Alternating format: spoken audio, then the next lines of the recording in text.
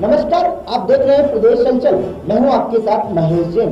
हमारी खबरें लगातार पाने के लिए आज ही YouTube से सब्सक्राइब करें और प्ले स्टोर से डाउनलोड करें प्रदेश संचल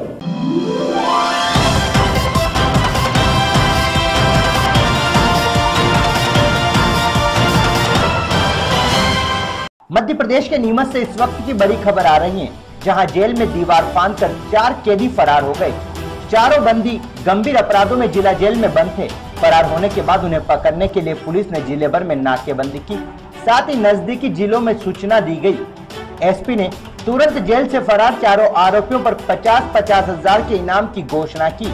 वहीं चार जेल प्रहरियों को लापरवाही बरतने पर तुरंत प्रभाव से निलंबित किया गया। और वहीं कलेक्टर अजय गंगवाल ने पूरी घटना की मजिस्ट्रियल जाँच के निर्देश दिए और कहा कि जाँच में कोई भी दोषी पाया जाएगा, उनके खिलाफ कार्रवाई की जाएगी। सुबह तो चार बज के बत्तीस मिनट पे मैं जब जेल पे राउंड करने के लिए आया तो उस समय तो अंदर राउंड करने के बाद है तो जिस एरिया में से भागे हैं, उस एरिया तरफ़ गया था, एक जवान ने बताया कि साहब तो कुछ गड़बड़ है।